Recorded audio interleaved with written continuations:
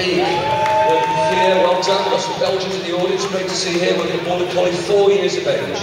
Tells me my first agility dog was an Alsatian, possibly. And now I have a Border Collie. It's completely different. He will always work last year the World Championships and jersey with Sweden, I believe.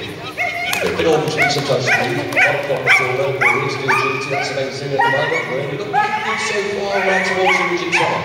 Through the gap again.